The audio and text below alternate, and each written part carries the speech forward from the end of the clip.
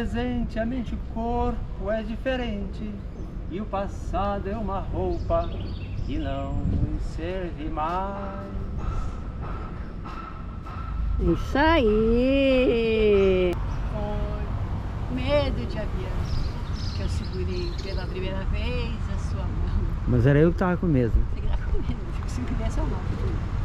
Bom, agora a gente vai lá conhecer a estátua do Einstein Aqui em Sobral Uma das razões de a gente estar aqui Essa estátua dele, né E, as, e a teoria da relatividade Que foi provada, que foi constatada Aqui em Sobral em 1919 Por ingleses, olha lá Por ingleses que São os patrícios, digamos assim, como a gente diz, né?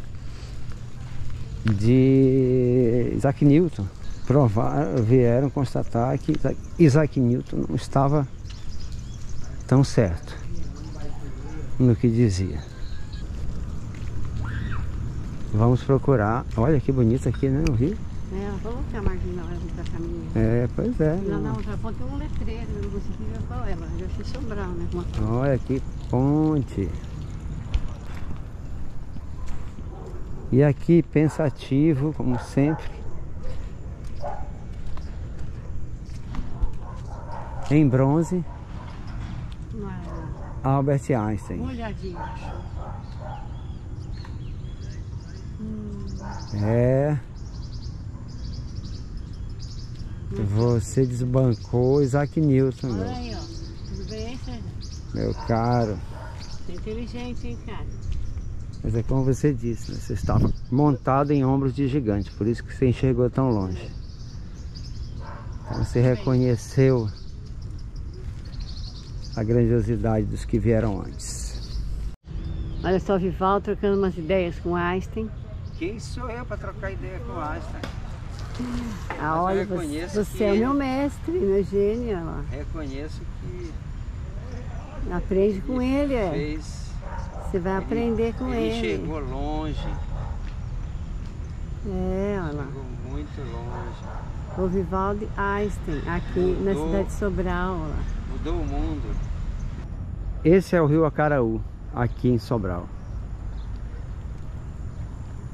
Um volume de água grande aqui na frente nós tem uma passarela de feita de é tipo ponte estaiada, é uma ponte estaiada, né?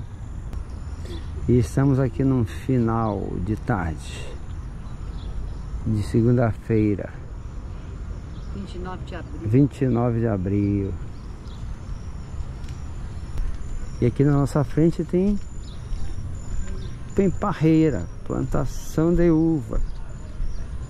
No Nordeste produz-se muita uva mesmo.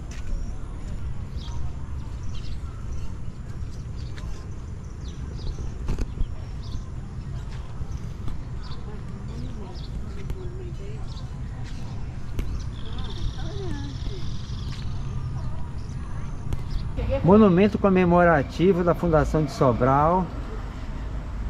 Passou a povoação em 1712 e vila em 1773.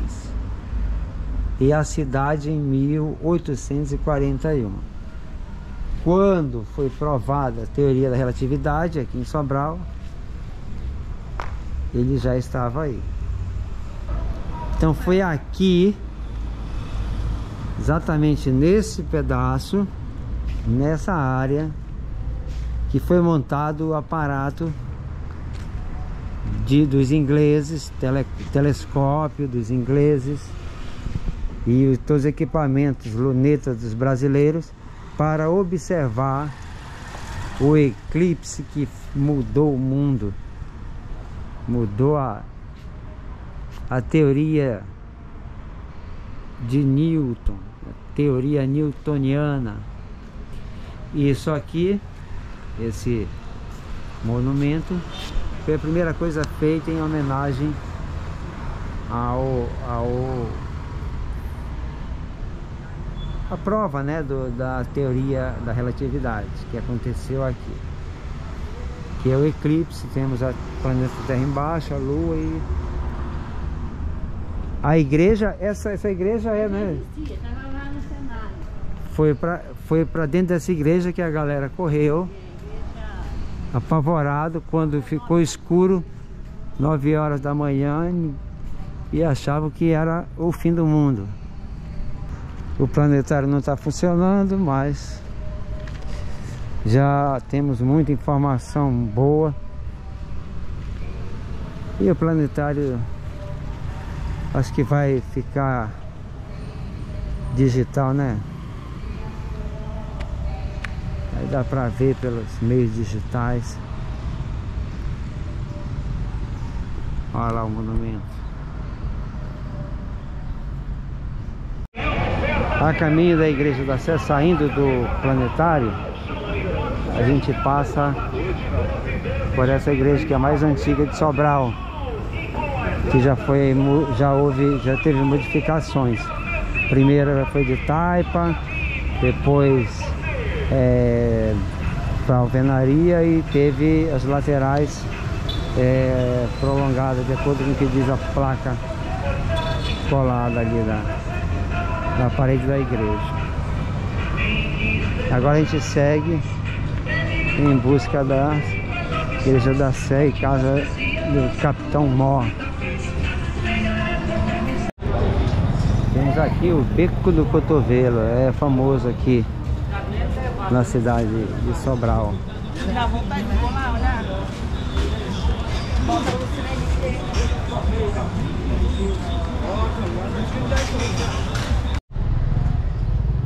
Chegamos à casa do Capitão Mor, edificação residencial construída em 1672. O seu Capitão Mor José Xerez, Furna, Uchoa. E aí Aqui temos a história da fundação da cidade, é? Vila Distinta e Real, Sobral. Presente do museu do lá. Ah, exato. É, conteúdo pro nosso canal aqui. É que no canal. Quando a gente gosta de mostrar o que é relevante. História, arqueologia, teoria da relatividade, tudo isso é muito relevante. Aqui, aqui começa a, essa casa é a casa mais antiga da cidade, foi isso, isso que falaram. É a, primeira, é a, casa mais antiga edificada, né? Edificada. Ah, porque fora isso tinha as casas de taipa e lá lá lá lá lá. lá. Ela data de 1772, né? Sobrava Só... de 1773, ela é mais antiga do que a cidade. Ah, essas madeiras aqui já são novas, né? Isso, foi da reconstrução, né? Agora essa aqui é da. Essa aqui é, é do tempo da eu não sei dizer, mas acredito tudo que foi uma reconstrução, né? Na época que quando teve uma equipe de Pernambuco de arqueólogos veio, né, para Sobral, uhum. escavaram alguns pontos, inclusive a casa Morro, né? Inclusive quando eles chegaram aqui, isso aqui não existia, isso aqui tava, tinha sido tudo derrubado, na época que o sindicato estava aqui, é, eles derrubaram esses dois cômodos e aqui virou um grande galpão mesmo para as reuniões, né? Então quando eles chegaram, começaram a escavar, eles descobriram é, que na imagem dá para ver melhor né? Eles foram retirando as camadas de piso até chegar no, no barro, né? No barro mesmo eles encontraram os alicerces, né? Então aqui, hum. aqui eles pensaram, bom, aqui realmente tem um cômodo, né? Que seria aquele, esse quarto dali. Aqui eles descobriram outro alicerce, que é desse cômodo aqui. Então, a partir desses alicerces, né, que é a planta original da casa, eles reconstruíram a casa exatamente como ela era na época do Capitão né? Então aqui é tudo uma reconstrução. E se tudo aqui é uma reconstrução que realmente tem de 252 anos nessa casa. Essa parede da fachada, ela é a original mesmo. Certo. Pela largura, É, pela largura, é isso mesmo. É, a arqueologia. Isso aí foi, foi achado, Não, né? Trouxe- isso, isso aqui, alguns materiais arqueológicos foram encontrados soterrados embaixo da casa. A gente fala que é a grande linha do tempo, né? Tem uns materiais aqui que são contemporâneos, né? Que a gente É reconhece. gude? E outros são mais distantes da nossa realidade. Isso, temos bolinhas de gude que aqui o pessoal chama de bila, né? Aqui, De quê? Bila, né? Aqui nós Bila. chamam bolinha de gude de bila. Aqui temos vidraçaria, né? Nós temos aqui o biotônico Fontoura, né? Então não é coisa muito antiga, é coisa nova. Né? É, mas pra ter uma galera de agora, da nova Olha geração, que olha conhece. o vidrinho que era. Tem uma galera da nova geração que não conhece já, né? E olha assim, Ele né? não tomou, né? Eu também Isso, não. que é aquele mercholate os primeiros da época que ardia, né? Não. Você também não conheceu isso? Eu Aqui nós conheci. temos. Eu conheci. A de louças aqui que foram encontradas, né? Nós, essas louças compreendem três séculos. Nós temos louças portuguesas do século XVIII, inglesas do século XIX e as mais recentes são brasileiras do século XX, né? Aí aqui nós temos aqui essas que estão arredondadas, porque quando uma louça quebrava, eh, essas pessoas achavam novos usos para ela. Então eles arredondavam a pecinha quebrada e viravam um joguinho de tabuleiro, podia virar uma dama. Hum. Então eles conseguiam aproveitar. Já eram recicláveis, né? Isso, Reciclavam as exatamente. coisas. Eu achei. Aquilo ali já são vestígios de cachimbos, né? Ah, Que ainda está passando por um processo de análise para descobrir mais né, informações sobre esses cachimbos. Acredita-se que possa ter origem indígena, mas quem é que fazia uso desses cachimbos? A gente não sabe, né? Porque que encontrados- erva que tinha aí. é, porque foram encontrados muito na parte de dentro, no quintal, e essa casa passou pessoas escravizadas. Então, quem é que fazia os usos desses cachimbos? Então, ainda isso está sendo estudado, né, pra gente ter mais informações. E esse, esse piso, de final de contas, é- Foi, ele foi encomendado com essas características de viçosa, né? ah, então Tá é- já foi é, coisa nova é, com aspecto de. Exatamente, Velho. e ele tem. Vai fazer uns três anos só, mas ele já está bem acabadinho, porque aqui, ó, isso aqui quando ele veio, né, ó, aqui embaixo, você percebe que tá mais conservado, porque aqui ninguém pisa, né? E aqui é porque a gente recebe muita visita mesmo de fora, e tudo, então já tá bem. tá precisando até. Revitalizando.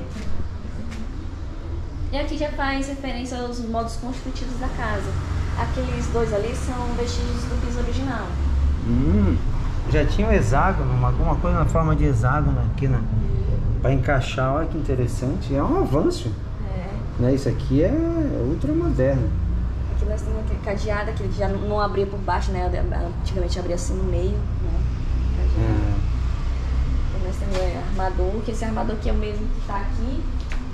Que ele tá até, ó, não sai, né? Envolto dessa madeira, que é chamado madeira estrutural, que é a mesma que aquela que a gente tá vendo, que é o que mantinha realmente as casas em pé antigamente, né? Hoje em dia nós temos as vigas, né? Quando você vai construir as casas, né? Antigamente era madeira, né? Essa madeira ela está visível pra gente, pra quando um visitante chegar à casa, ele ter esse olhar e perceber, ah, então é assim que era feita uma casa do período colonial, mas Beleza. Ela, como normalmente elas são, elas ficavam por dentro da parede, Por dentro da escondida, parede. como essas aqui, ó. Ficava por dentro da parede, ela não ficava. Certo, visível. certo, certo, certo. Aqui é uma exposição que nesse espaço a gente sempre utiliza para exposições, né? Então aqui está tendo Sobral e suas tradições, trazendo como uma das tradições de Sobral os bois reisados, né? Um encontro, né? Uma, essa manifestação cultural, vocês conhecem? Já ouvimos falar, sim, mas ainda não tive a oportunidade de ver uma festa. né? Não, regiões- pela televisão, pelos, pelos É, documentários. existe- É uma manifestação que existe em várias regiões do Brasil, muda alguma coisa em relação à cultura, né?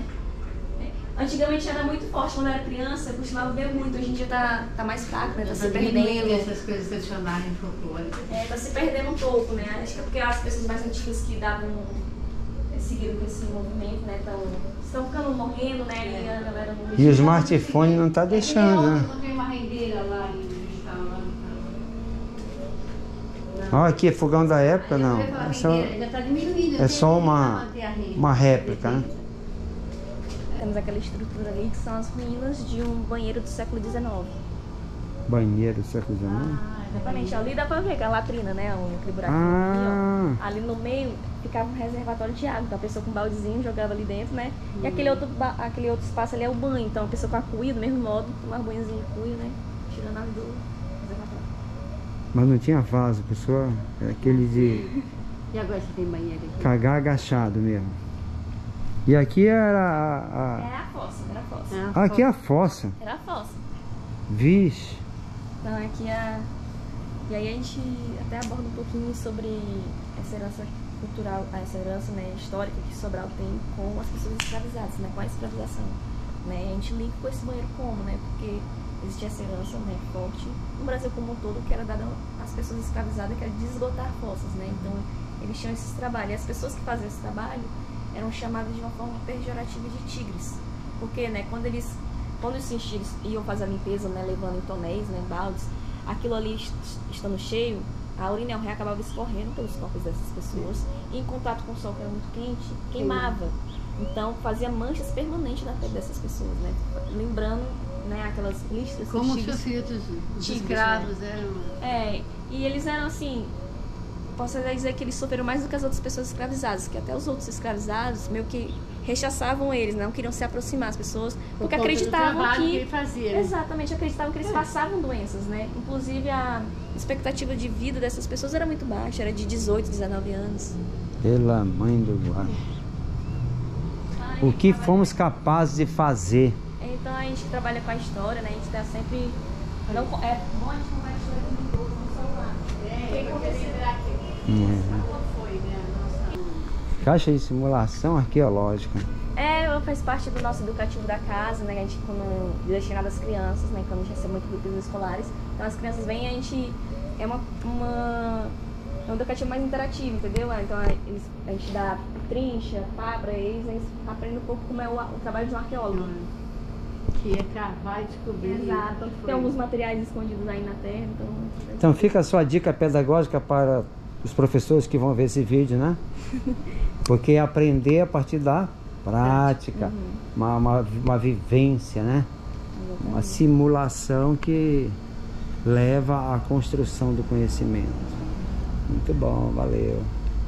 Boa tarde, me chamo Ana Maria, sou estudante de História e mediadora cultural aqui da Casa do Capitão Monco. Obrigado. É.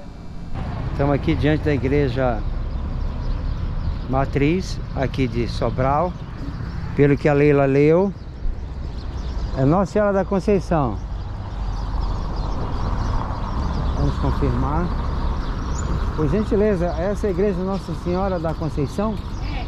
Então está confirmado pela moradora. Igreja Nossa Senhora da Conceição, que deve ser bem antiga, né? Essa, essa igreja foi construída junto com esse pelourinho também, né? são do mesmo tempo, né? Eu acho que são. Ou seja, na frente da igreja surrava-se seres humanos pela economia, para a economia crescer. Aqui a gente vai ter ó, aquela trajetória, trajetória da Lua, desde a Cordilheira dos Andes até o final do continente africano. E dois pontos importantes. Sobral, aqui, e Ilha do Príncipe lá do outro lado. Por que será que escolheram Sobral e Ilha do Príncipe?